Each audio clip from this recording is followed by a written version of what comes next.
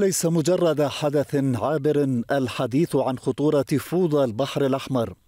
وعلى مشارف باب المندب الذي يعد موقعا استراتيجيا تستنفر من أجله القوى الدولية بأساطيلها فهو همزة الوصل بين البحر الأحمر والمحيط الهندي ما يجعله منتدى عالميا ومقرا مركزيا لقواعد عسكرية تراقب الترتيبات البحرية عن كثب.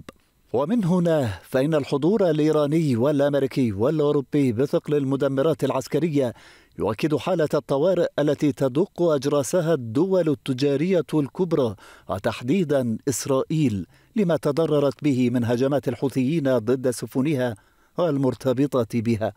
في الساعات الأخيرة سحقت مدمرة غريفلي الأمريكية في حدث لأول مرة من نوعه زوارق يمنية بطواقمها بعد إطلاقها صواريخ على سفينة بريطانية.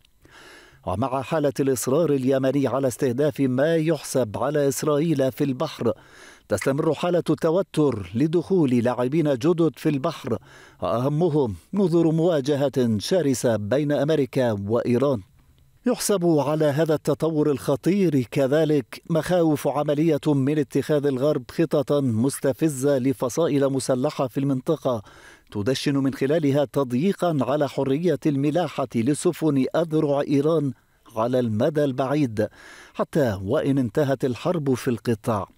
إلا أنه احتمال ليس بالقريب سيما مع حديث صحيفة واشنطن بوست عن حرص أمريكا على الرد بهجمات محدودة النطاق كي لا تتسع رقعة الغضب إلى حرب شرسة.